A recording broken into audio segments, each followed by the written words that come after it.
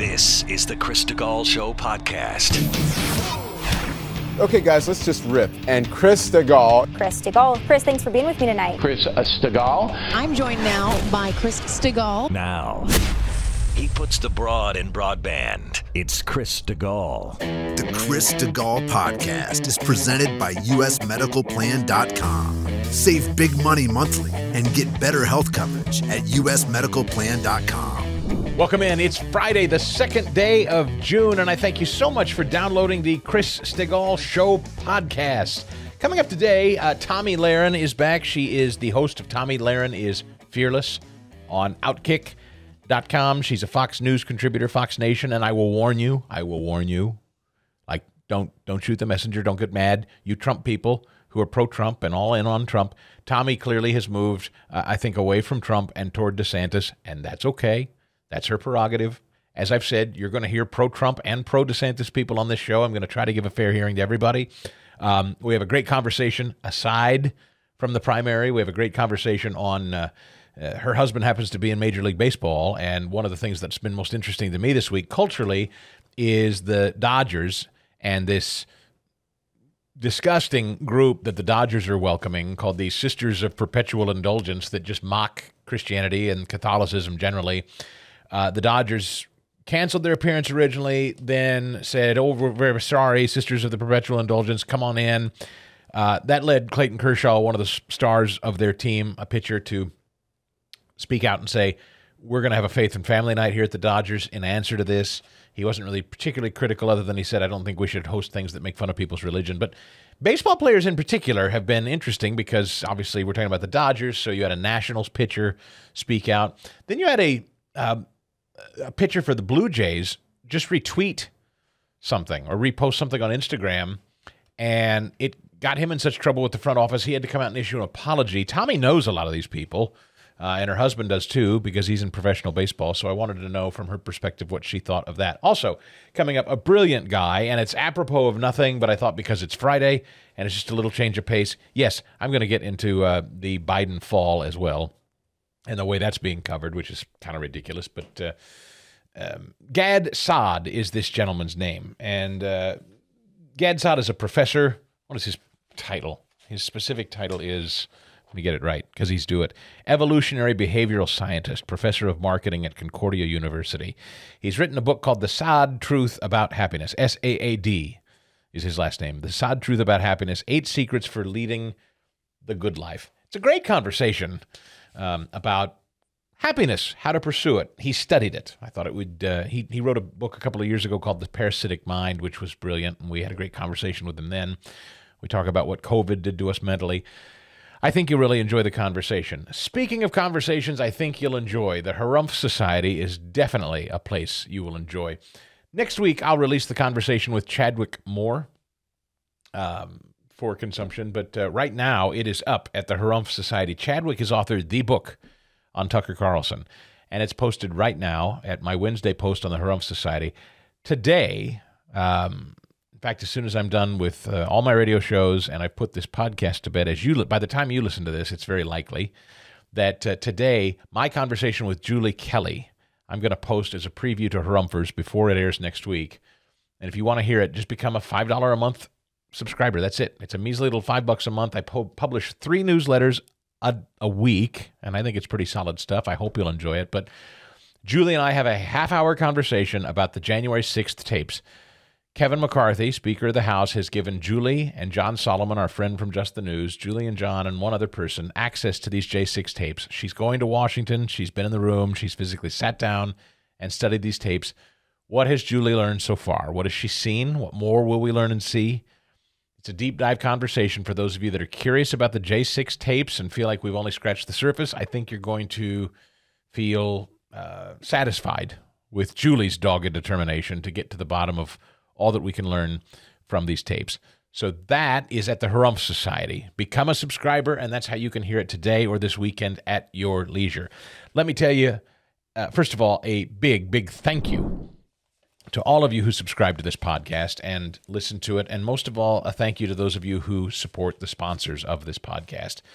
The title sponsor of this show, the guy that keeps the lights on in the building, is a guy called John Ruhlman. And you can watch my video conversation with John at chrisstigall.com. But every single person that I talk about or endorse during this podcast, your calls and your support, your inquiry, telling them that you heard about their their business on this podcast helps our podcast stay afloat. So thank you for supporting John Ruhlman and giving him a call. But it's more than just selfish. It's more than just me asking you to help me and do me a solid. It's really, I'm asking you to save yourself some money 30 to 60%. If you buy your own health insurance, John Ruhlman is absolutely who you have to call. His team at usmedicalplan.com. Log on to usmedicalplan.com. Look for my smiling mug.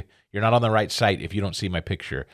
usmedicalplan.com or call 877 410 4321. If you buy your own health insurance, if you're a retiree on a fixed income and you take Medicare coverage, if uh, you're a younger, healthy person, there are insurance plans out there that cost you a fraction of what you're paying through work right now. And on top of all that, they could actually pay you if, God forbid, you ever need to be hospitalized. Health insurance is tricky, it's bureaucratic, it's very expensive, but I have personal relationships that have saved thousands of dollars by picking up the phone and giving it two minutes to tell them the kind of coverage you're currently paying for out of pocket.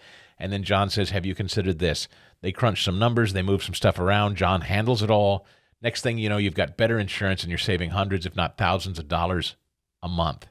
Come on, call John Ruhlman, 877 410 4321, usmedicalplan.com, or watch my conversation with John at chrisstigall.com. I have to tell you that um, we've seen a lot in our time together, covering news and events, covering a few administrations now. I've um, I've been doing talk radio long enough that I guess this would be my fourth presidency. Two of them, two terms. So been doing it long enough now. I've seen several come and go. I've seen lots of campaigns. I've seen lots of campaign stops. I've seen lots of errors. I've seen lots of flubs. We've covered extraordinary moments together. We've talked about things that are crazy, angering, silly, funny. I I don't think and I'm actually really sincere about this. I don't think I've ever seen anything quite like I saw yesterday. And I never thought I'd see it. I never thought I would actually see the bottom of the President of the United States' shoes. I, I, I mean, look, a stumble, a slip, a trip, an incident, fine. I've never seen a president go down in a heap s- since the Kennedy assassination like this. I've never seen something like that. Uh, but Joe Biden was not assassinated. He he just fell. And and I'm telling you, at his age, if your parents or uh, you or a loved one called you at what is he? His late 70s. He's pushing 80. If somebody called you pushing 80 and said, "I just took a nasty fall," Would you would that worry you? Seriously, if you know someone of a certain age, I mean, I I don't want to embarrass my parents, but if my parents, if I saw one of my parents who just turned 70 this year, all right, my folks are in, they are 7-0, both of them. And if I was out to lunch with them and I saw one of them fall the way Joe Biden fell yesterday, I wouldn't go, "Oh, he d- d- dust it off, shake it off. You're fine, dad. Get up." Let's go have an app. And that's what they're.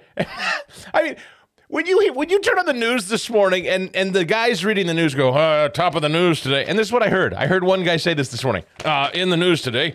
Uh, Joe Biden takes a nasty fall at the Air Force commencement ceremony. He's fine.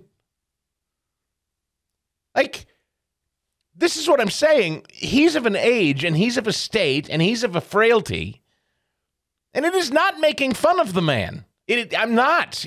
The truth of the matter is, he is of an age and he is in a condition, and we all see it. Democrats see it. You see it. I see it. We all see it. He's of an age and a frailty that when you see someone like that take a spill like that, I know you say his bike, but even the bicycle I'll excuse because people fall off bicycles. This is just walking. Well, all right. Yes, I suppose we did see the bottom of his shoes going up the ramp. But again, yes, he's fallen going up the ramp too. But again, this is this is a flat surface. I, he's fine. In the news today, Biden falls. And just as a matter of imagery, that Air Force cadets are behind him when it happens. That picture, I would imagine, is playing in international war rooms uh, in hostile regimes all over the globe. I, I, would guess, boy, if you ever wanted the recruitment video for uh, Russian military or Chinese military, that's the one you run. Hey, join us. Over there, across the pond, that guy, the leader of the free world, look at this. Here he is in front of his cadets. And then clip to Xi with his, uh, you know, waving whatever he does when they extend the hand out, and you got those guys marching with precision, almost like they're robots in the streets of Tiananmen Square. What an image. This is the only time I wish I did a TV show so I could cut to the clip and show it to you, but it we have it, but it doesn't do us any good the audio of it. Remember Biden had quite a lot of fun with Donald Trump who didn't fall at a West Point service. You know, this came up You know what's interesting about this last night coming up at the Trump town hall? Trump had a friend asked me what qualifies as a town hall. That's a great question. Did you watch any of this? I did. And I regret that I did, but I did because I thought I was going to miss something or I was going to learn something. But Sean Hannity was involved, so naturally I didn't. Um, it was the Sean Hannity town hall featuring an appearance by Donald Trump and people in Iowa who are actually, you know, the, the people that are supposed to be featured. That's the way it was. Like it was 48 minutes of Sean talking about things, letting the president answer occasionally what Sean thought, and then at the end a crudely edited edited 2 minutes with the guys who actually get to stand up and ask questions. It's a town hall. And a friend said, "What exactly by definition is town hall?" When you when somebody says I'm hosting a town hall, what do you think? What I think, I mean, if, if your boss says, hey, we're hosting an all staff town hall, that generally means, I think, in my mind, correct me if I'm wrong, employees are going to gather together and they're going to get to ask questions of the boss.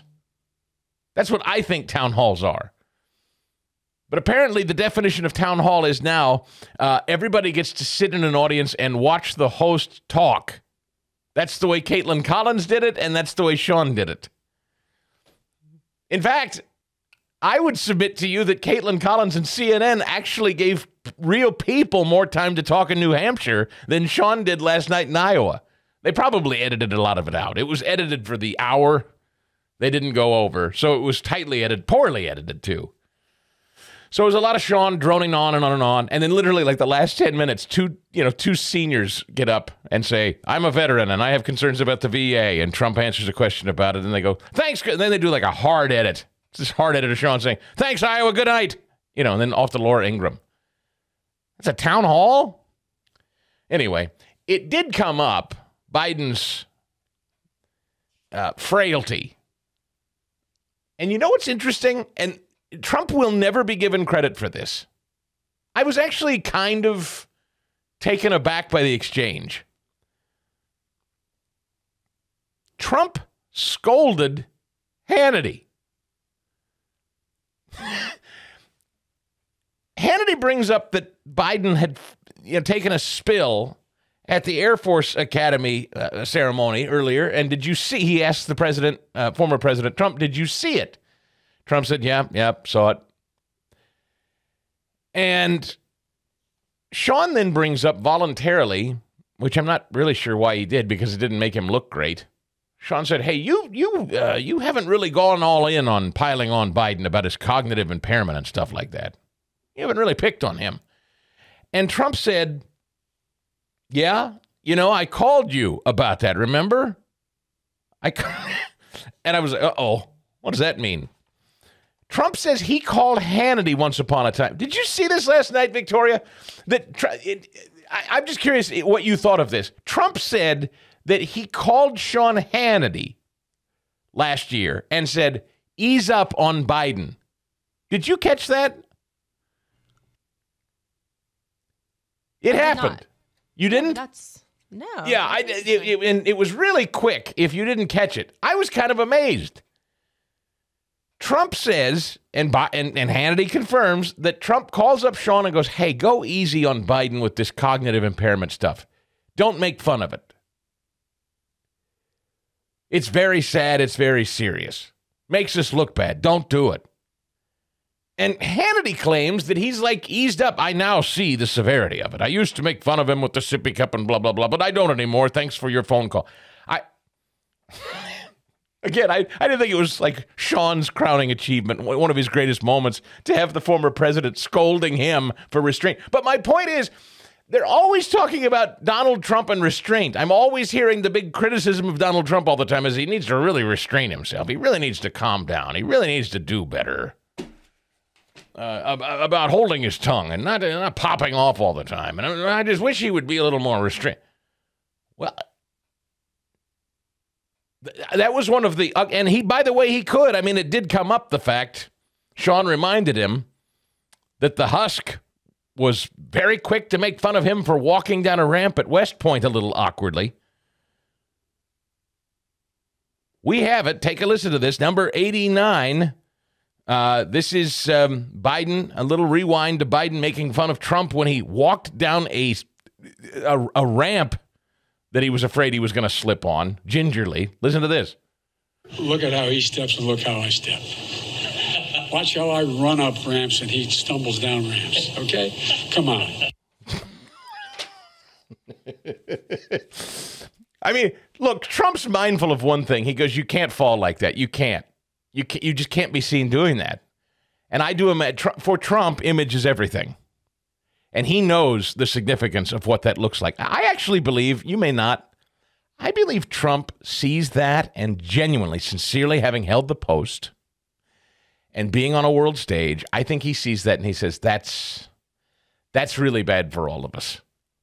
He knows how important imagery. Remember the hell he caught for what was on the EU summits where he was kind of sh- what appeared to be shoving his way to the front of the pack of the global leaders. And then once he got to the front of the line, adjusted his jacket like, there, I'm in my rightful place in front of everyone. He caught, remember when that was passed around and went viral? Look at this ogre, this boorish buffoon. Look at him asserting his alpha male dominance over the world. You see, that's what's wrong with this country. Okay, well, what do you think yesterday of the husk with his legs in the air, looking at the bottom of the soles of his shoes? In front of the Air Force cadets. Which would you rather have? I ask you. The the guy saying, "Out of my way, get me to the front of the line," or the feeble husk who looks like he should be in traction this morning in front of the Air Force cadet. What what would you rather have? I'm serious. On the global stage, Trump's keenly aware of that imagery. I think I heard them laughing, Chris. I don't know. There was a clip of them kind of chuckling when you it know, was happening. I was I was trying to be very. You're talking about when he fell. Yes. I've been trying to be careful here because I've seen many people post clips of the fall, and I've been a little nervous to trust it because I've been burned. We've been burned a couple of times. It depends on the source of the audio. These days, you can never be too sure. I have been burned playing clips on this show before where people have called in later to say, yeah, that's not exactly the real audio. That was edited in to make it sound like people reacted this way when they really didn't. So I don't know. But th- so you have audio of the actual tumble, and you hear. I, I can't believe anybody's cheering. No one's. This can't be real. You think this is real? It sounded unedited to me. Again, to your point. All right, I guess, but just sounded. Let's with, with, caution. With caution, we play this. This is one of the clips floating around out there where there's a claim that perhaps there's either laughing or cheering or something. But, but take a listen.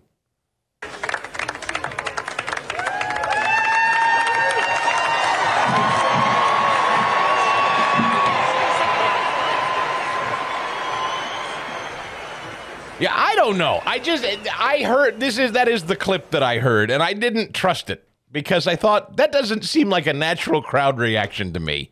When you see a feeble, frail president of the United States collapse, it doesn't see. Even I probably wouldn't go woo. That just doesn't. that doesn't seem like a natural human reaction. So I don't. Listen, nothing would delight me more than if a bunch of Air Force cadets and their families were cheering uproariously to see the collapse of the. No, that's not true. I, I, I don't cheer it. I don't cheer it. I'm a human being. I think it's sad. His, his little wispy hair blowing around in the wind yesterday, and then he puts on the little cap. And then the little fellow walks to his chair and collapses, and his legs go up in the air. I, I'm serious. It reminds me of my grandfather in his last days when we would help him from the chair to the Thanksgiving table. Come on, Grandpa, time to eat. But the thing about my grandfather was he was physically well, he he couldn't see.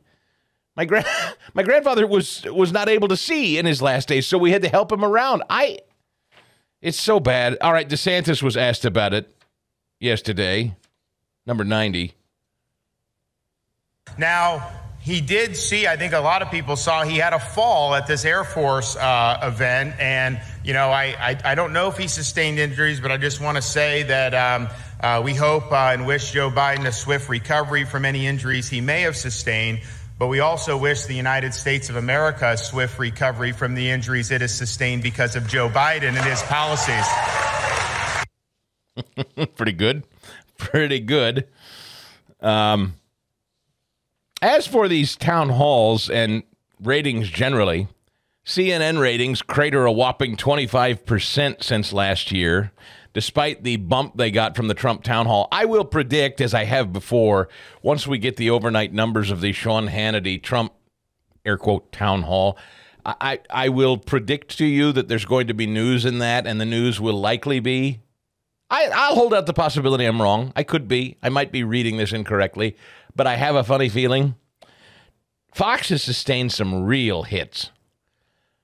People are not watching Fox like they used to. I know I'm not. In fact, it was painful for me to even turn Fox on yesterday. It had nothing to do with Trump at all. I just I knew what I was going to get. I knew it was going to be of the hour. It was going to be mostly Sean talking, and Sean talking doesn't interest me. He claimed last night they ought to fact check the host of the town hall. Sean claimed he's on 700 radio stations. Rush was on 600 at his apex. Sean Hannity is not on 700 radio station. I know for a fact he's not on in this town. But uh, at any in fact, uh, I do two radio shows a day, and he's not on in either town I broadcast to. So I don't know how the math works that Sean has lost two major cities and has now somehow picked up a hundred more radio stations than Rush had at the peak of his career. I just, what a blowhard that guy. I will predict that Sean's numbers for his little town hall last night with Donald Trump are actually going to be fewer than Kaitlan Collins over on CNN. That's my prediction. And they will make news of it. And they will say it's Trump. And I will remind you, it has nothing to do with Trump. In fact, if I were advising the Trump people, I would say stay the hell away from Sean Hannity and Fox. It's not doing you any favors. He doesn't. He's not helping him. Nobody wants to hear Sean bloviating to Trump about the ails of the country and what he thinks about it. Run for president, Sean, if you're that passionate about it. Otherwise, would you just ask the question and get the hell out of the way? What a blowhard. Anyway, CNN and Fox News both shed viewers year over year in May seeing particularly steep declines in prime time. MSNBC, the only network to see gains. Fox still remains technically the most watched. In the first full month since the firing of Tucker Carlson, they brought in just 1.4 million viewers in prime time. That's a 37% drop year over year. CNN's viewership sank to less than half a million viewers. and they didn't have the numbers to lose as it is.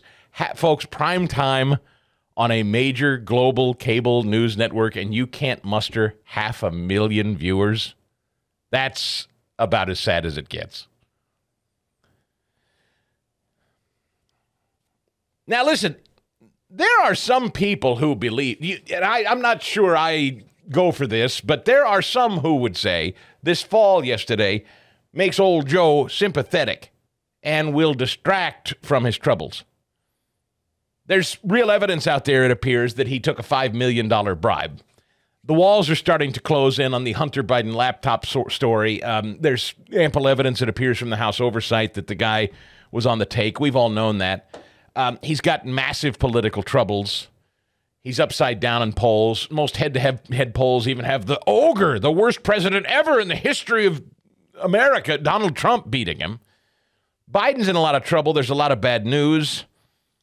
Uh, I got this story in front of me from the Daily Caller today. The White House responding to a poll which indicates a majority of Americans believe Joe Biden was involved with his son in illegal influence peddling.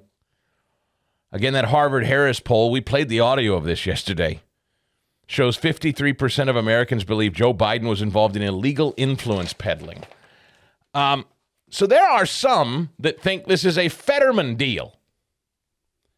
Old Joe, being frail, takes a tumble, and now he becomes the poor old fella for whom we should feel very sorry and we should treat with kid gloves. I thought Ron DeSantis handled that pretty well. He said, "We wish him a speedy recovery. He he we hope he wasn't hurt, but we also wish this country a speedy recovery because of the damage he's done to us. I thought that was well said. Um, so the FBI is set to deliver this document that Comer wants on this bribery to Capitol Hill on Monday. I think they already have it in their possession, but they're, again, they're trying to stave off the contempt uh, filings against FBI Director Chris Wray. So they're formally going to hand over what the House Oversight Committee wants. But once the House Oversight Committee gets it, then they're probably prepared to go full throttle on at least trying to publicly prosecute this president. You may see impeachment over this. I would certainly think you should. I would think the House would take up articles of impeachment against the president if they genuinely believe he has been taking bribe money while vice president. Um, but I don't know. Does a fall like that make people feel sorry for Biden and make people forget that he may be on the hook? Like this Harvard Harris poll says 53% of Americans think he's taken money illegally. Does that make people forget that and feel sorry for him because he fell or that he's feeble? Can you, said another way, can you feel sorry for a guy or be concerned for his health while still thinking he's a crook? Can we do both at the same time? I think we can. Some people believe that um, this is like a Fetterman deal where, oh, the poor guy, he had a stroke. Don't be mean to him. I don't know if that works for this guy.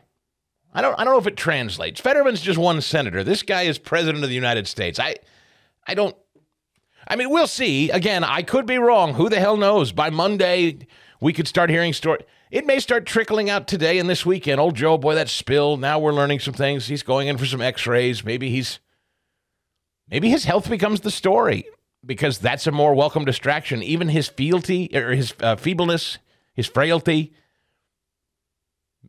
maybe that's enough of a distraction for them that at least they're not talking about him laundering money through his son from foreign governments. I I don't know.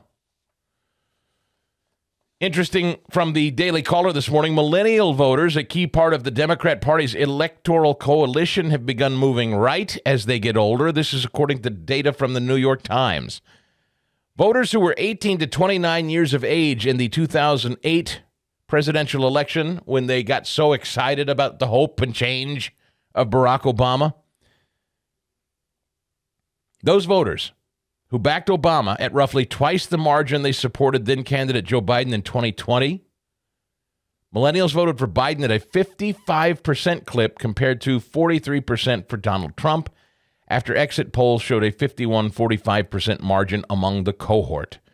In the 2022 midterm, voters aged 34 to 43 supported Democrat congressional candidates by a 10 point margin. The point is, the trend of millennials shifting right as they age is part of a larger pattern of Democratic cohorts becoming more conservative as they get older. Voters from most political co- cohorts under the age of 50 voted for Republicans in larger numbers in 2020 compared to 2012, with shifts most noticeable among older voters. Millennials shifting to the right is primarily a trend among older parts of the generation who came of age politically from 2004 to 2008. Um, I, I, think this is axiomatic. I don't know that this is necessarily revolutionary. It's a tale as old as time the young idealistic kid gets his or her first paycheck and they are aghast at the taxes and you have to sit down and explain to them what's come out of their paycheck and they realize the heavy hand of government for the first time there's a, there's a what is the saying it's escaping me right now because it's um what is it if um if if you're not a democrat when you're young you have no heart and if you're not voting a republican when you're older you have no brain or something like that Young young people are idealistic morons. They don't know what they they, they have the feels about everything. They don't pay for anything. They many of them still live at home. They're emotional idiots. This is why I've I've said this a thousand times about this business. People always say we got to get younger. We got to get younger. We got to get younger. I, I've heard that.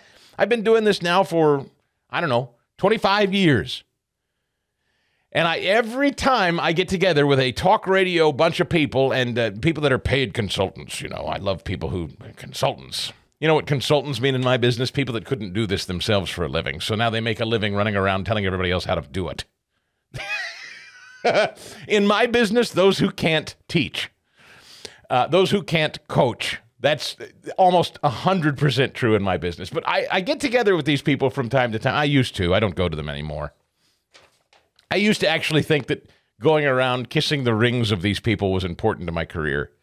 I'm over that.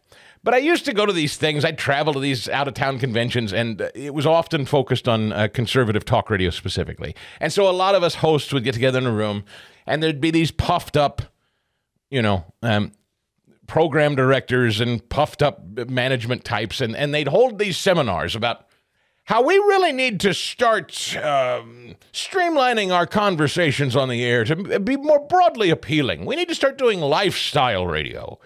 We need to start talking about, uh, you know, um, issues that appeal to the home.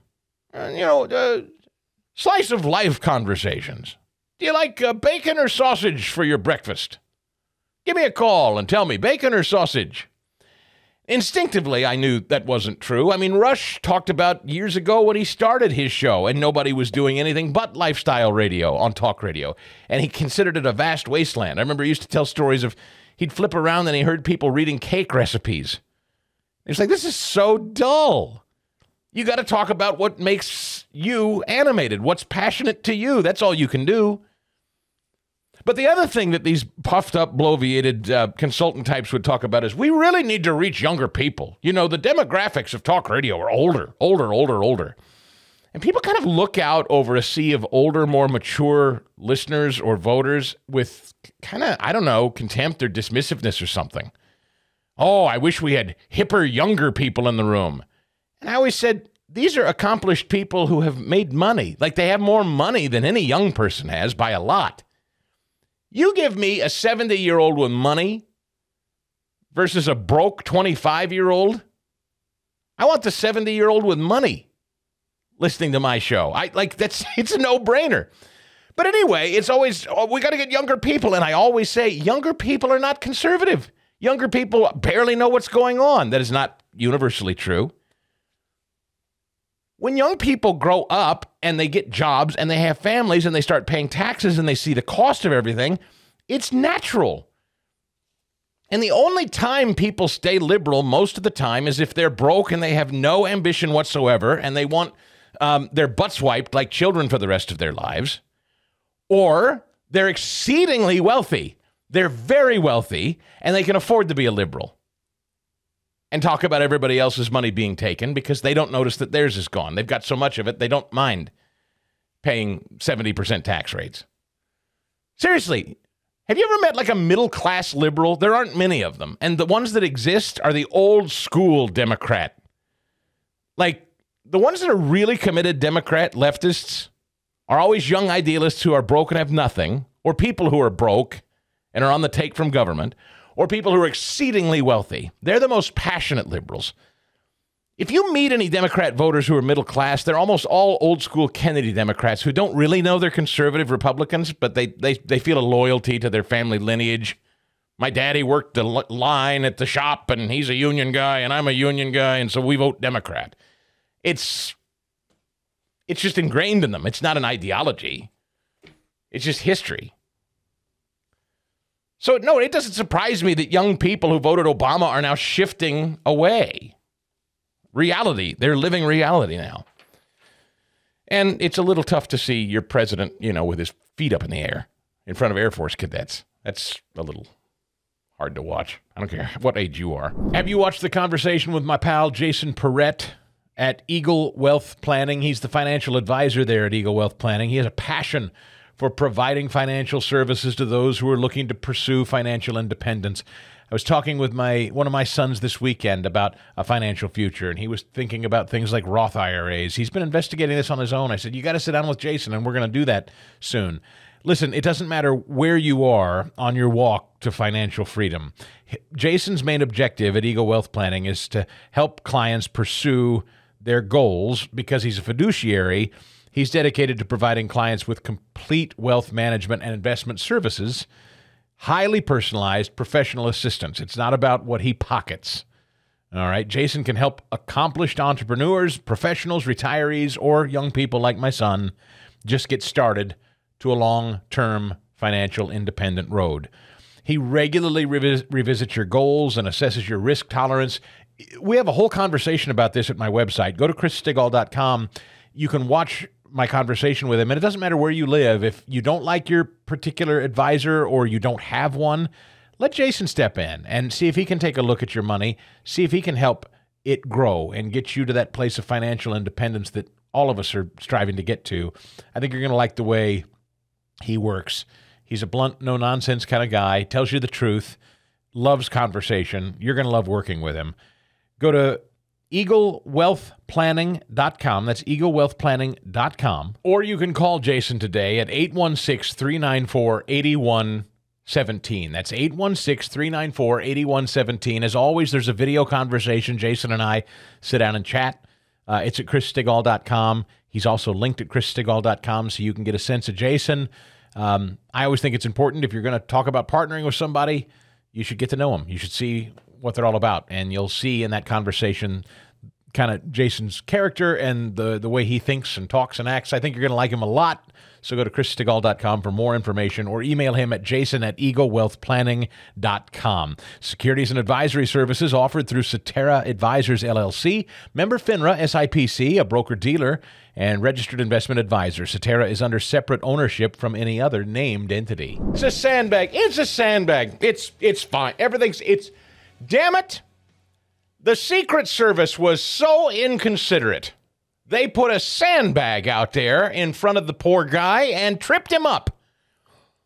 It's all the, the state, the Air Force cadets, whoever set up the teleprompter and the whole setup for uh, old Biden, they put a sandbag out there to hold it up, and look what it did to him. Tripped him up. Why? That spry, nimble 80 year old fella, he would have been upright and uh, never would have had a fall had somebody not put that sandbag in his way and tripped him up. CNN today with the wide shot. They they highlighted it. They they put the, the white oval over it to show. I mean, they're doing like Zapruder film analysis of it. State-run media going into full cover for the Husk this morning.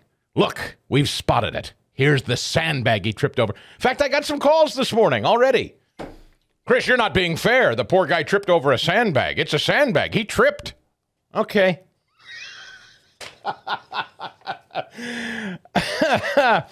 Tomi Lahren is back with us.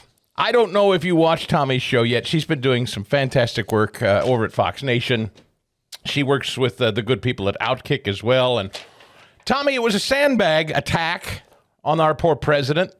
And uh, I'm sure you feel as sorry for the fellow as I do. Good morning. Uh, yes, I do feel very sorry for him, but not because of a sandbag or a sand sandbag. I feel badly for him because he's elderly, he's a senior citizen, and he should not be serving in the office of the presidency. Quite frankly, he shouldn't be there now, and he certainly should not be running again in 2024. And the fact that the liberals are doing the mental gymnastics to try to make us think that this man is somehow a spring chicken just goes to show how disingenuous they are and why most Americans don't trust the fake news mainstream media. It's amazing. It's amazing. They're they're they're blaming. Oh well, whatever. I've made my point. Glad to have you again, Tomi. I I've been watching you with interest on social media here lately, and and I think you're navigating something the same way I am because I think you're probably interested in being fair. I think you probably um, want the best of outcomes in the Republican primary to challenge this mess that we're living in at the moment. Uh, but you've seen it spill out the, the the nastiness, the back and forth, particularly on Twitter between Team Trump and Team DeSantis. And I've been interested in watching you and others navigate it. What's your general kind of thirty thousand foot view of it all? Well, I'll tell you this. You know, we knew that this primary was going to be contentious. We knew it was going to be a bloodbath. And you know what? There's nothing wrong with competition. Uh, for me, this week was very disappointing uh, as somebody who has been a Trump supporter from the very early days back in 2015. Uh, this week was disappointing for me, especially when I saw Donald Trump go after my colleague and friend, Kayleigh McEnany. Uh, that to me really hit home in, in a lot of ways and it really bothered me. And I'm certainly not the only one that feels that way. You know, it's one thing if you want to argue about policy. It's another thing if you want to argue about who's better for the job. Uh, even if you want to make some low blows and and call some names, which we knew Donald Trump was going to do. You know, that's one thing. But when you go after somebody like Kayleigh McEnany, who has had your back, who has fought for you tooth and nail for so many years, uh, that was really upsetting to me, and I don't think it was a good look. So I hope that the former president received that message loud and clear. I hope that he won't do that anymore, and whoever is advising him that that's a good idea, I hope that they've been fired. Uh, and I hope that moving forward, we can just get back to policy. And I don't know, maybe save some of the criticism for Joe Biden and Democrats instead of going after one another so fiercely. That would be nice.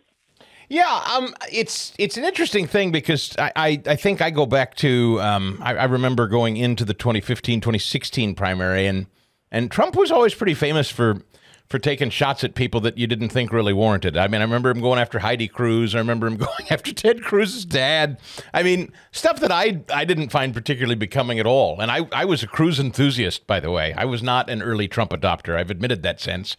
Um, and I, I ended up voting for him twice, but um, I, I guess I just I'm kind of surprised at the reaction to Trump behaving the, that way because that's that's not exactly new to me.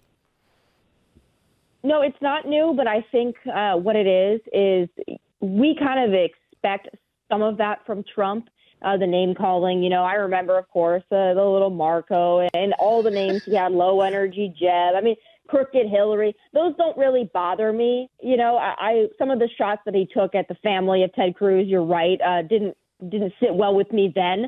But I think what's really disappointing at this point is that this president, this former president, demands loyalty from everybody. But in order to get loyalty, you have to give loyalty. And when you have somebody like a Kayleigh McEnany who has given you loyalty for so many years and she got a poll wrong or in your mind she got a poll number wrong and so you eviscerate her the way that you did you know that to me was a whole different ballgame than what we've seen from this president and that one to me was much different than you know what he typically does. How are you um, how do you see the the desantis campaign launch the the twitter thing last week um, he's he's rolling out to the early primary states this week uh, iowa south carolina new hampshire um, are you are you tilting that way in, in this primary to a, uh, a pro DeSantis run? Well, I'll tell you this: I'm very impressed with Ron DeSantis, and I have been for many years. I mean, I remember uh, living in California part of COVID, and I remember looking to places like Florida and wishing that that was my leader. Then I moved to Tennessee, and I had a Republican governor, and I still wish that I had a leader like Ron DeSantis because there were a lot of Republican governors that didn't step up. So I've been a DeSantis fan for a very long time. Um, you know, the Twitter rollout thing, a lot of people criticize that. He tried something new, and I don't think we should attack him for that. And also, I think we need to be very honest about the fact that we need to try new things on the Republican side.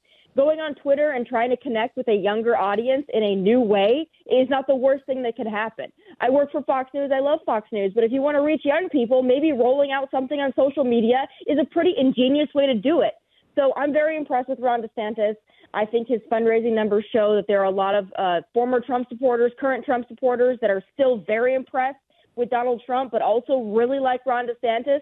So I will say this both men need to earn my vote. You don't get the nomination through osmosis, and you need to work for it. And that's what I want to see from both of them. I love them both, but let's have a competitive primary, but let's talk about policy and who can win. That's what I want to focus on. So you're not, you haven't gone to the extent of saying, here's my horse yet. I'll tell you this. Um, I will be very critical of both sides, and I will give my honest opinion of who I think is our best shot. Um, and I think our best shot, and I've said this so many times, and I've said it for months. I think our best shot at getting back in the White House is Ron DeSantis. Okay. And and if Ron DeSantis is our nominee, I think that we will sail into that White House.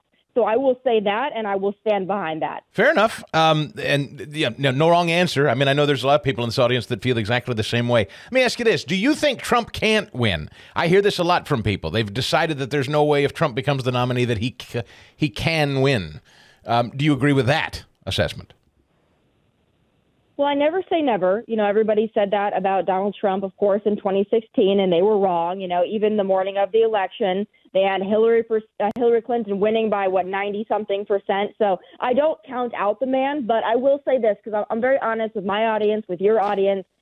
If he lost in 2020 and things have gotten worse heading into 2024 when it comes to certain election integrity, mass mail in voting, ballot harvesting.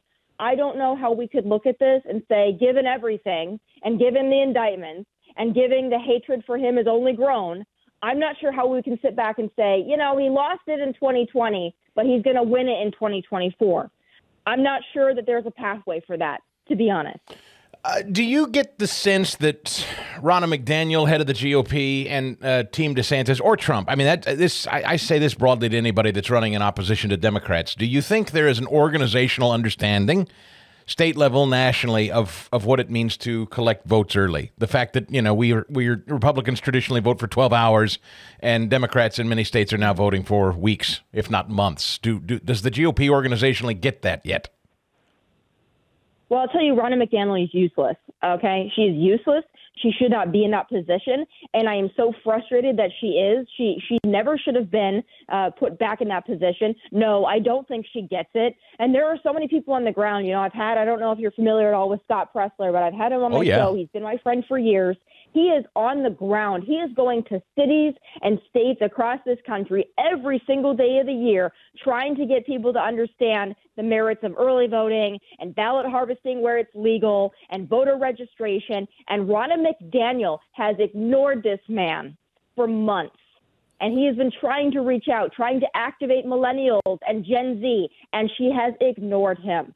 So, no, I don't think that the leadership of the RNC gets it I think Ron DeSantis gets it. Uh, I think maybe Donald Trump gets it, but Republicans need to get it.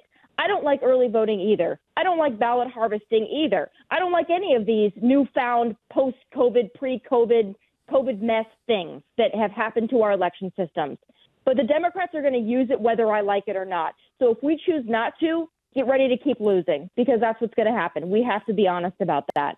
Tomi Lahren hosts the show. Uh, Tomi Lahren is fearless every Monday, Wednesday, Friday uh, on Outkick.com. You can see her on uh, Fox regularly as well, Fox Nation as well. Tomi, the uh, House, uh, disappointingly to I know a lot of us, only 71 Republicans said no to raising this debt ceiling, another $4 trillion, uh, limitless spending for Joe Biden. Um, should we have expected anything less from Kevin McCarthy? I, I kind of thought, I mean, maybe naively for a second, I thought the House Freedom Caucus flexing early would kind of keep him in check, and it seemed like early on it had. And then uh, he did what they do, and uh, here we are again. How do you read it? Uh, you know, I'm disappointed. Uh, I had uh, Congressman Byron Donalds on my show last week talking about this and saying that Republicans need to hold firm, and, and I was hoping that that was going to be the case. Um, I think that there's a, big problem, a big issue uh, with Democrats constantly moving the goalposts to the left and then constantly making it seem in the hearts of hearts and minds of most Americans that somehow it's the Republicans that are obstructionist and unreasonable but they frame the argument like that every time. So to not do something, to not raise a debt ceiling, and to not message it correctly is going to be a big problem for us, at least when it comes to public opinion. So I understand the position that Kevin McCarthy was in. I'm very disappointed, you know, at, certain areas and, and how his, his leadership has kind of buckled under Democrat pressure. But to say that he wasn't and isn't in a hard position isn't being fair because he certainly is we need more Republican messaging to the American people to understand why giving the government a blank check is a problem. But unfortunately, we simply cannot get the message out correctly, and that is our downfall. If I may, Tomi, in closing today, I wanted to ask you just because I know your husband is in um, is in uh, Major League Baseball, and I, I ask only because of what we've seen happen out there with the Dodgers. I'm intrigued. We saw a, uh, a a pitcher from the Nationals come out pretty vociferously against the Dodgers hosting this sacri- sacrilegious uh, organization called the Sisters of Perpetual Indulgence. Pretty grotesque display uh, for their Pride celebration. Um, Clayton Kershaw, who pitches for the Dodgers, came out uh, said, "Hey, we're going to have family uh, faith and family night in response to this." Uh, a Blue Jays pitcher re- retweeted, just re- I guess reposted something on Instagram. He came out and apologized for it. I'm just curious generally. I'm not asking about your husband personally, but I'm asking about baseball generally. I know it's full of a lot of men of faith. Um, and I don't know if you've spoken with your husband about this at all, or what you or he or what you just generally think the responsibility, or if there is a responsibility for people of faith in the game to speak out about this with the Dodgers.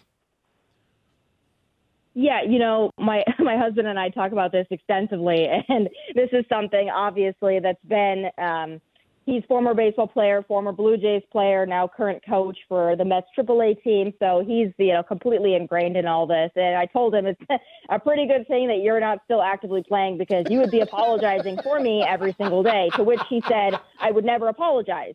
Um, and I believe that of my husband because he wouldn't apologize. He he would stand for his beliefs and he doesn't care. I mean, he's Cuban and he's not going to apologize to no one for nothing, especially for his wife. So no. Uh, I also know and am good friends with Anthony Bass, who plays for the Blue Jays, who made that uh, what felt like a hostage, uh, a prisoner statement that he had to make yeah. about the posting that he made, uh, which I was really disappointed in. But also, I have to be fair because I know what it's like through my husband to know how these front offices treat conservative players. And when they want to stand up for something, uh, I know very well that they could very well be on the chopping block for one way or another in some way or some form because they choose to be political or because they choose to be outwardly Christian or conservative. So that's the unfortunate place here. I'm glad that there are some with the intestinal fortitude to speak out. There is strength in numbers. Baseball is conservative. The players are conservative predominantly. So I hope that more will stand up and will stick to their convictions and beliefs but it's going to take a while. I got to be honest; it's going to take a while for them to feel comfortable doing that. Yeah, it's um, this happened in the NHL too with the Pride jerseys, you know, and we saw what some of the players. It's so odd these front offices seem to be. I mean, I don't know if most athletes are. Curt Schilling once told me on the show that he believes sixty percent of most professional athletes are conservative. Would you agree with that assessment based on the, the people that you've hung with and gotten to know?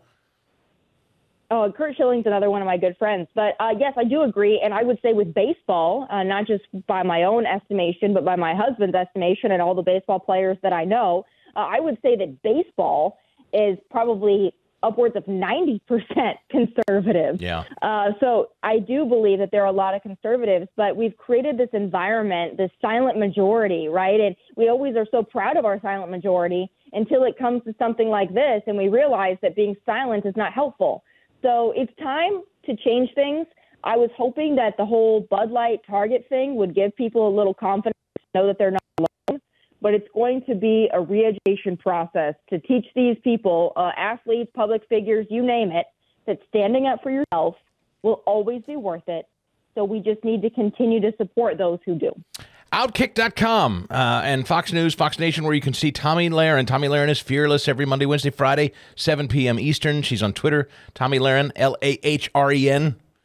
Tomi, it's always a pleasure to catch up. Hope you have a great weekend. Okay, former President Trump issued a warning from Mar-a-Lago. You may have heard it. He said, quote, Our currency is crashing and will soon no longer be the world standard, which will be our greatest defeat, frankly, in 200 years. That's a direct quote from Trump. Well, central banks are reducing their U.S. dollar holdings. That's true.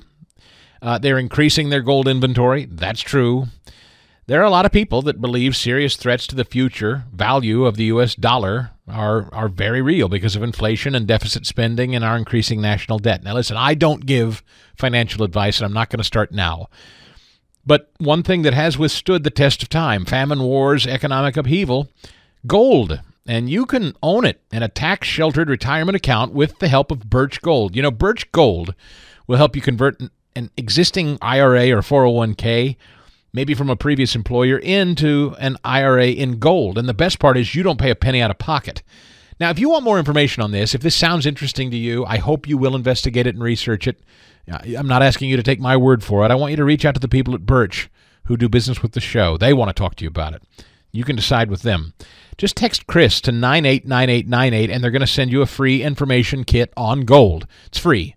No obligation, no charge, but you can do some more reading, and I always encourage you to do that. Text Chris to 989898. Now, in March of this year, when the banks faltered and the stock market faltered, gold surged. Well, Birch Gold can help you find out how to protect your savings with gold. Birch Gold has an A-plus rating with the Better Business Bureau, thousands of happy customers. So investigate them. Text Chris to 989898 and get your free information kit on gold. Again, that's Chris, just text it. Text Chris to 989898 and happy reading. You know the jingle, right? For the best night's sleep in the whole wide world, visit mypillow.com. It's true. It really is the best night's sleep in the whole wide world. I've been sleeping on MyPillow 2.0 for the last few weeks, and it is so comfortable. I didn't really, can I be honest? I didn't really buy the whole Mike Lindell patented adjustable fill thing. I didn't know what that meant, adjustable fill. I was like, yeah, sure. The pillow's going to go flat. It doesn't go flat.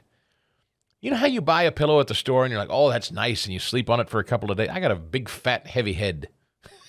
and all it takes is a couple of weeks, maybe a couple of nights where I get a little warm, and all of a sudden that pillow just, and a couple of weeks my neck is cricked, and it's just, it's miserable. Pillows are, I've never had luck with pillows.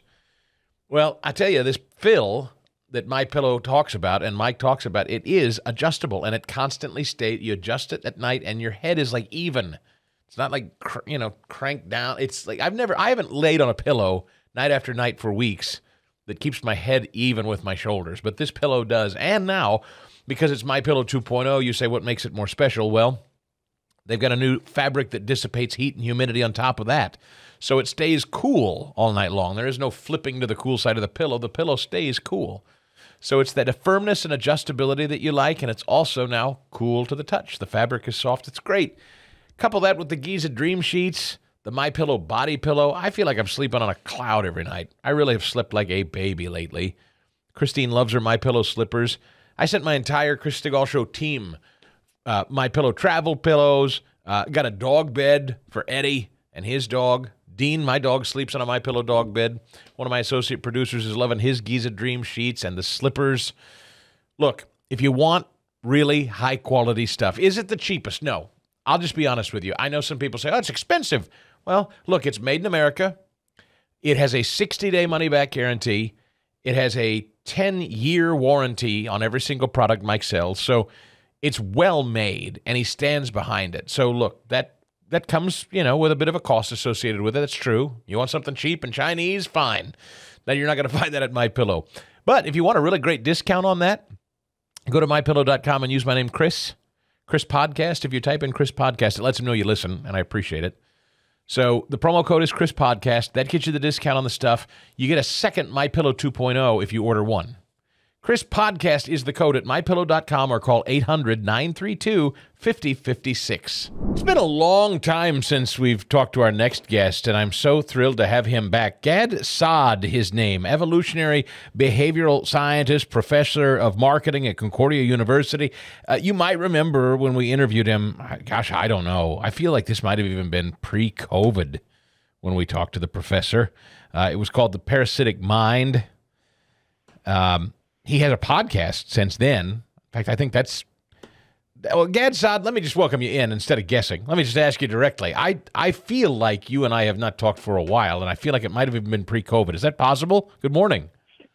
Yeah, good, uh, great to be with you. Thank you for having me again. Uh, I I don't think it was pre-COVID because, or it might have been just before COVID because my the Parasitic Mind came out in October 2020, and so that's when the big you know, blitz of media would have happened. So it could have been, you know, anywhere between March 2020 to October 2020, or probably shortly thereafter. But it's certainly been a few years since we've chatted. Well, you were brilliant. That book was brilliant. And what a time for it to come out because we were thick in the middle of real fear in this country. And I guess what I know for sure is I have not spoken to you with a good rear view mirror look at that episode uh, globally in our nation's history here in the United States. That is, um, how do you view the way people behaved emotionally and mentally through COVID? I know that's a big question. Uh, yeah, well, look, uh, we, we all didn't know at first what we were dealing with. So I remember when in my family we had to institute, you know, when you'd bring in groceries home, and this is in Montreal where it's starting to get colder in winter, right? Mm-hmm. It's not, we weren't living in Southern California. We had to, you know, wipe down all of the, the you know, the groceries, you know, and everything, make sure that everything is, you know, fumigated, so to speak. And now looking back, of course, you know, most people overreacted. Uh, now, of course, we also know that uh, some of the governmental policies were, you know, grotesquely, at the very least, haphazard, if not willfully diabolical, right? I mean, for example, in Quebec, uh, Chris, we had a, a, a policy until quite recently, maybe about a year ago, where we were under complete lock curfew lockdown, where you couldn't walk your dog alone mm. in your neighborhood, right? So, what is the epidemiological evidence that suggests that you can't take your walk, your dog walking after 8 p.m. Now, quickly they rescinded that rule or that law, but it gives you a sense of, you know, quote, the fog of war. People were instituting all kinds of crazy policies. So I'm, I'm thankful that we're out of that nonsense. Your brand new book, by the way, which comes out July 25th, you can pre order it now. It's called The Saad Truth About Happiness. S A A D, by the way, is how you spell Gad's last name. S A A D. The uh, Saad Truth About Happiness Eight Secrets for Leading the Good Life. Because you study behavioral health, I, I find that period of time in our nation's history. Now, again, our histories are only limited to our life experiences. And I realize we've been through lots of traumatic things as a people well before I was ever alive, and we will again well after I'm gone. But in my limited frame of reference, yeah, we can talk about things like 9 11, Gad, but I think COVID was more traumatic to more people for various reasons than maybe we still understand. You agree?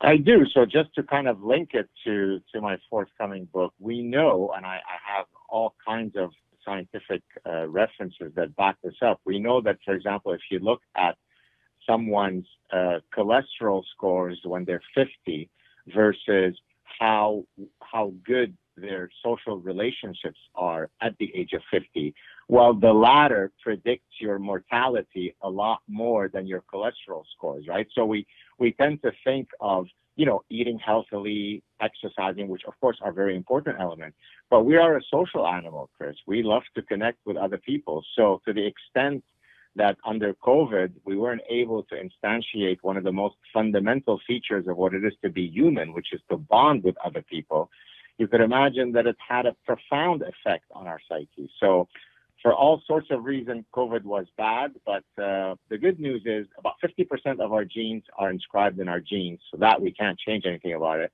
But that still leaves 50% up for grabs. So there are all sorts of choices that we can make, mindsets that we can adopt that could hopefully increase uh, our likelihood of being happy in life. My wife is one of these people who really does see I mean, she sincerely does see everything as sort of glass half full. Um, she, she she is not a pessimist. She it doesn't really matter what's thrown at her. She will say things like, "Well, at least X didn't happen," you know, or it could be worse. That's now that is not me, Gad. Um, I'm glad I married that way, though. How critical is it to partner with someone who at least counterbalances you if that is not you? Oh, that, that, that's a fantastic question. So I have a chapter. Chapter three is about the two key life decisions that will either impart great happiness to you or regrettably great misery, and that is to choose the right life partner and the ideal job. Because if, if you get those two decisions right, then you're well on your way to climbing Mount Happiness. So to your point about choosing uh, the right the right spouse, so you're referring there about one maxim, which is opposites attract, right? You, you know, you are more pessimistic, your wife is more optimistic, and so those, you know, even out. It creates better balance within the, the union. But the other maxim, Chris, is birds of a feather flock together, right? Mm-hmm. And it turns out that for the long term stability of a relationship, it's overwhelmingly more the case. And all the scientific evidence supports that that birds of a feather flock together. Now, what does that mean? on your particular trait, uh, you know, optimism versus pessimism, it might make sense that you complement one another. But when it comes to life ideals, belief systems, you know, life mindsets, choosing someone who shares your beliefs and attitudes and mindset will is much more likely to, to you know guarantee you uh, success. So, for example, in my case, uh, the fact that both my wife and I have very, very similar fundamental values. We're both very much homebodies when it comes to how much we love our, our, our children, how much we want to always be together. It just makes for a much smoother ride, as you probably can guess. Oh, yes. Gad Saad's new book coming out July 25th The Saad Truth About Happiness Eight Secrets for Leading the Good Life. Again, it's available for pre order right now. How about faith, your spirituality, um, a personal relationship with a creator? In my case, as a Christian, um, it's it's central to me. It's kept me grounded. It's kept me focused. It's kept me from despair. It's given me hope when I felt glum. How key is that for everyone, whatever their their faith may be? Yeah, so that's a fantastic question. So in in uh, in chapter two, I actually go over a overview of all of the literature linking happiness to all sorts of things happiness and personality, happiness and culture, and to your question, happiness and religiosity. And it turns out that generally speaking, there is a positive, a, a modest positive correlation between religiosity and happiness, meaning that the more religious you are, all other things considered, the more likely you are to be happy, in part because of all the reasons that you enumerated in your case. But I, give a way out to people who may not be religious because I don't want them to despair about, well, what, what if I don't believe in God? What if I'm just spiritual, but I'm not, you know, monotheistic? I actually argue, Chris, that you can have, uh, you know, awe-inspiring moments uh, that are akin to, you know, being divine moments just by contextualizing it within very earthly things. When I form new friendships with people, you know, when I'm having this conversation with Chris, that hopefully will make a lot of people, you know, excited about what we're talking about. When I meet a stranger in the street and then we strike up a conversation and we become good friends, when I see a beautiful natural vista, I can still be, you know, if you like, divinely inspired in a spiritual sense without necessarily couching it, you know, in a in a theological framework. So I think that uh, yes, all other things equal, being religious makes you a slightly bit happy. But even if you're not, there's all sorts of ways by which you can feel uh, spiritually awakened. Gad Saad with us again. It's called the uh, Truth. S A A D is the last name. The Saad Truth about Happiness Eight Secrets for Leading the Good Life. Here's the other thing that I know, uh, particularly when we talk to our young people. I have an 18 year old who's just graduated from high school. You know, his full life ahead of him hopefully, God willing. And um, I think there's an expectation that, you know, uh, you're going to go out there and you're going to grab life by the horns and you're going to have a happy life and everything's, you know, up, up, up, up, up all the time. And maybe sometimes we're guilty of lying to younger people that happiness is what must be achieved at all times. Certainly, social media, we know, has eroded kids thinking that everybody's leading this great life. They're not. That can get dangerous too. Indeed. So I, I talk about uh, the anti-fragility of failure, meaning that any anything that is worth pursuing in life so that it can give you purpose and meaning is laden with potential, you know, minefields of failure. But and, and as a matter of fact, in, in that particular chapter, I give examples of pretty much every top person in you know every domain of excellence. So the greatest soccer player of all time, Lionel Messi, Michael Jordan, J.K. Rowling as an author. And I tell their stories of rejections, right? How they were, you know, Michael Jordan was rejected in a sophomore high school basketball team. J.K. Rowling was rejected by every, you know, possible publisher that you could imagine until, you know, one finally said yes. Uh, Lionel Messi was rejected as being too small and frail, and he needed to do growth hormone therapy. And look at him now; he just won the World Cup with Argentina. So anything that is uh, going to uh, engender purpose and meaning is also likely to expose you to failure. But what makes us, uh, uh you know, the, the, the, powerful people that we are is that we overcome that. The other thing that I would say to young people is, yes, you have your, you know, your son has his whole life ahead of him, What you don't want for your son to do is when he's 87 and sitting on that proverbial uh, porch, looking back at his life, to say, I wish I had become the artist that I always wanted to be, but instead I listened to my dad because he thought that accounting was a safe degree for me to pursue, right? Yes. So oftentimes the biggest regret that sort of, you know, gnaws at us existentially is the path that we didn't follow. That's really what, what, what, you know, tortures us at the end of our lives. And so what I tell people is try to live an authentic life to the extent that you can. If you truly want to be an actor, uh, then maybe you need to pursue it and don't worry about not going to medical school. So I understand that there are pragmatic realities. Sometimes you've got to put bread on the table, but try to live as best as you can an authentic life. That's why, by the way, the ancient Greeks were so profound when they, you know, there's a Delphic maxim that says, know thyself, right? Everybody knows that expression, but yet we don't live by it. If you live an authentic life, you're certainly going to increase the likelihood of you being happy. Gad, can you will yourself to happiness? Can you will it? I mean, do you or have you studied that enough to know that I, you know, if I'm d- down and I'm glum and I just don't feel great, can I, can I talk myself into happiness? I don't know about talking yourself into happiness, but you can take concrete actions that will increase the likelihood. See, in my book, Chris, I don't, I don't, I don't have the hubris to tell readers, hey, implement what I'm telling you, and I guarantee you happiness. Rather, what I tell people is, look, if you implement these mindsets, if you implement these decisions, it will certainly increase the likelihood of you being happy. So, example, people who are lonely and socially isolated to the going back to the first question that we addressed at the start of our chat, uh, are uh, it's very very difficult for me to be happy for me to be happy if I am socially isolated. So you know what? Go out to a cafe with a book, and as you're sitting there, strike up a conversation with the person sitting next to you. I know it's terrifying because you don't want to be rejected. You don't want to upset someone who might be doing something else.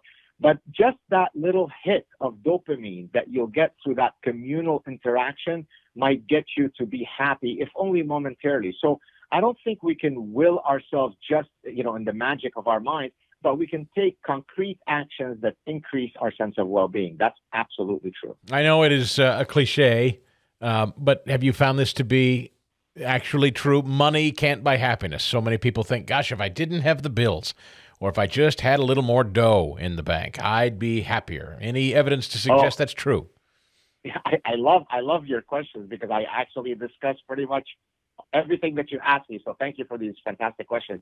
I do discuss in the book the correlation between money and happiness, and the general research finding is that they, they are correlated up to a point. So, for example, one classic study found that up to $75,000, there's a correlation between happiness and money. Now, of course, that makes sense, right? If I'm worried about whether I'm going to have enough food for my children tonight for dinner, whether I'm worried that can I pay the mortgage or, or is the bank going to take away, you know, my, my house that I've worked so hard for, then I'm unlikely to exhibit, you know, existential happiness.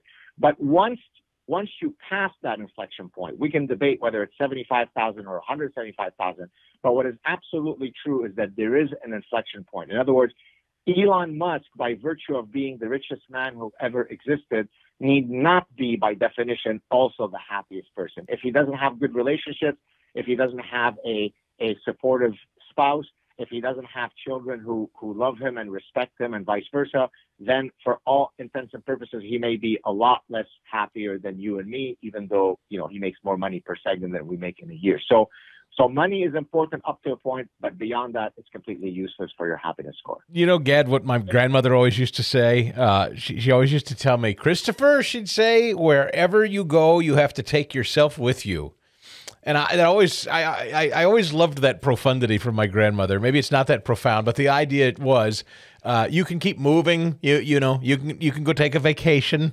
You can become wealthy. You can change houses, spouses, whatever. But you're always going to be there with yourself. And if you don't much care for yourself, at the end of the day, you're going to be stuck.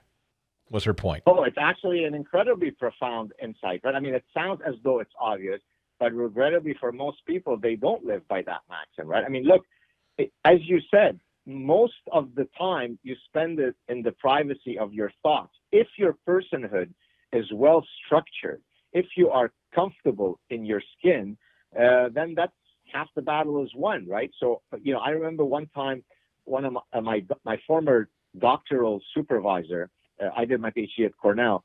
Uh, I had gone back to Cornell as a visiting professor, so he had come to my course to watch me lecture. So my professor was now coming to watch me profess to the next generation of students. And at the end of uh, uh, my lecture, he came up to me and said, "Boy, your mother must have loved you a lot because you you you you lecture with such ease and confidence." And I and that struck me really well because that's exactly how you know I think the signal that I exude, which is, of course, we all suffer at times from insecurities, but generally speaking, existentially speaking, I'm comfortable in my skin, and I think that radiates to the world. So so I think your grandmother was exactly right. I can't wait to read this book, and I always feel so much smarter when we talk. Gad Saad, uh, The Saad Truth About Happiness Eight Secrets for Leading the Good Life, available for pre order now. His last uh, remarkable bestseller was called The Parasitic Mind. And by the way, you have a podcast as well, right, Gad? I do. It's called The Saad Truth, S A A D Truth. It's both available on YouTube if you want to actually see me chatting with folks, and or you can just download it if you just want to listen to it.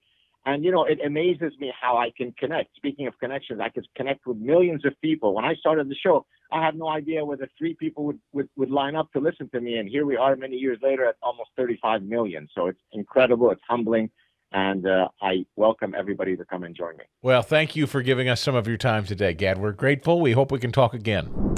The Chris Stigall Show podcast.